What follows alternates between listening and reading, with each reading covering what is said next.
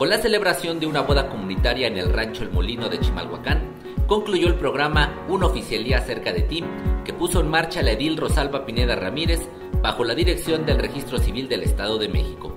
Durante el evento se realizaron 250 enlaces matrimoniales de forma libre y voluntaria.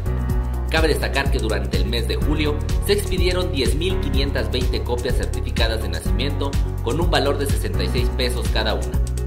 Asimismo, la unidad móvil de la Dirección de Registro Civil del Estado de México brindó servicio en localidades como el Ejido Santa María, Plateros, Herreros, Acuitlapilco, San Lorenzo y la zona urbana Gidal San Agustín. Para más información, sigue nuestras redes sociales. Gobierno del Nuevo Chimalhuacán, Progreso Seguro.